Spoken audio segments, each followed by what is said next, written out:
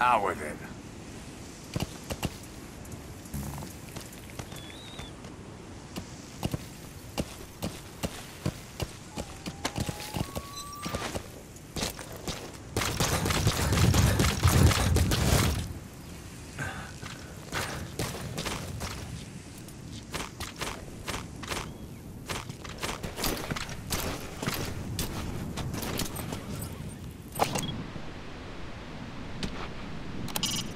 There are wolves in that area. They've been known to go after people, so watch yourself.